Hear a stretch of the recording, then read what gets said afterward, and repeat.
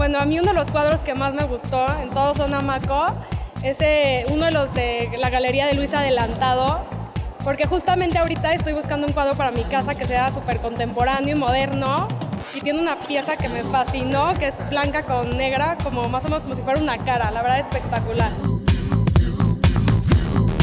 Mi obra favorita yo creo que ha sido esta pieza de Michel François en el stand de Stefania Bortolami. Ah, porque me gusta mucho. No sé si saben, pero esta está suspendida 100% con imanes, no tiene nada, nada, no tiene nada que nos agarre a la pared.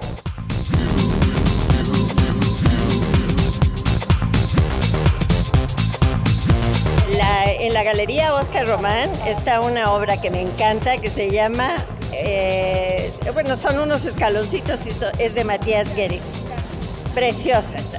Pues tiene movimiento, es una escultura y eh, tiene, es dorada, me encanta el, el oro.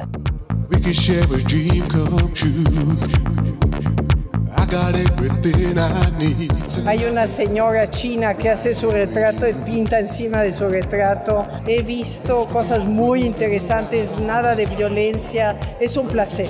Felicito a Célica y a los organizadores. La obra de Darío Villalba, El beso, es esta, se titula El beso.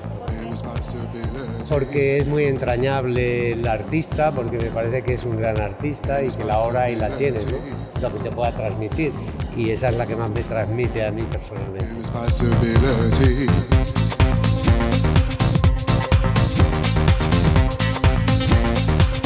Lo que más me ha gustado es la intervención que hicieron con los niños porque creo que es muy importante que los niños desde chicos empiecen a ver este el sentido del arte. Hicieron un proyecto muy bonito de reciclaje y creo que, eso a través del tiempo es lo que pues a lo que todos eh, queremos llegar, ¿no? El reciclar para que tengamos un mundo más limpio y mejor. La verdad es que mi obra favorita es en sí la feria.